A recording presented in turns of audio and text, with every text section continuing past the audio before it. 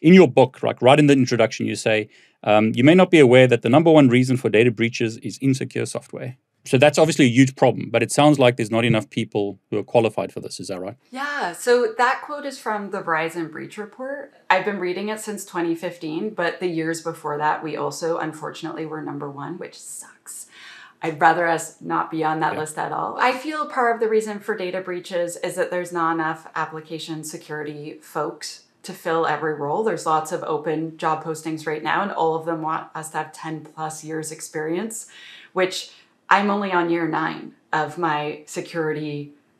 Like I'm on year 25 of my tech journey, but only year nine. So I'm like, if I don't qualify, like who qualifies for this job, buddy? It's ridiculous, yeah. But on top of that, I think one of the biggest reasons is that basically we're just not teaching basic security hygiene to any new software developers. So they go to university, they go to college, they go to a boot camp, and the first lesson you always learn is called Hello World, where you, you just code out Hello World. But I call it Hello Insecure World because they are literally teaching you the recipe for cross-site scripting. The first thing you learn to do is put Hello World on the screen. The second thing you learn to do is ask their name.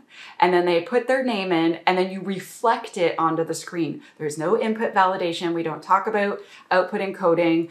And then that is literally the perfect recipe for reflected cross-site scripting. And so it's very frustrating that after all this time, it's still being taught how to do it insecurely from the very first day.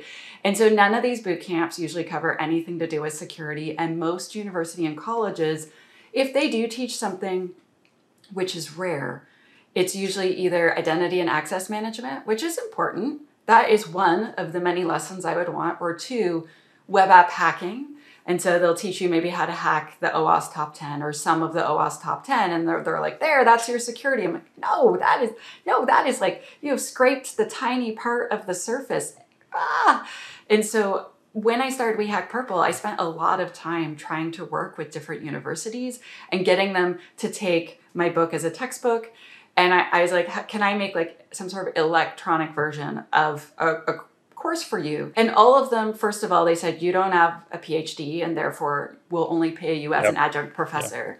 Yep. So I have been offered 4,000 Canadian dollars, which is less than 3,000 American dollars, to work 10 hours a week for four months and grade all the assignments and grade all the exams. I'm like, I could work at Walmart as a greeter and make more money. And they want to own my content after. I'm like, this is a sad, sad joke. And they're like, sorry, I guess we can't hire you. I'm like, you're a billion dollar organization. You can hire me. You just don't value what I bring to the table and you don't care that you are literally graduating thousands of software engineers and developers where you've taught them incorrectly how to make software. And it really bothers me. So I, I was hoping that some of them, and so my book is taught at a handful of universities by an adjunct professor who is essentially volunteering. And then I've guest appeared at many wow. universities but not having a PhD, I don't even have a degree, I have a diploma. Apparently, that is sacrilege. And I'm just like, guys, guys, get with the program. The world's changed. I mean, it, I can't believe it. Could you imagine? Just imagine for a second. Oh, yeah, we're a trade school and we teach people how to do electricity, but we don't bother to teach them any safety. And so then houses just burn down all the time and people die. Sorry about that. It's expensive for us to change the curriculum and exert effort. Can we have your money, please? Because that's what they're doing, right? But the trades would never get away with that. And they're significantly more regulated than software development and especially cybersecurity. And so I feel like we need to work towards having the government more involved. There has to be like a bare minimum of security that you're going to teach if you're going to teach people to code, etc. We're way too far away from that.